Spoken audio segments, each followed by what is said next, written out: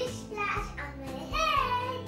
First, I will add one spoon of Epsom salt in each of the watercolors.